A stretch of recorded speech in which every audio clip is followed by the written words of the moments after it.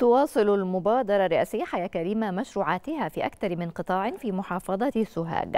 وتضم هذه المشروعات مشروع نقطة الإسعاف وتطوير مطاف أم دومة وإنشاء مكتبة كتابك بجوار المركز التكنولوجي إضافة لمشروع إنشاء وحدة طب الأسرة وبناء سور المستشفى الجديد.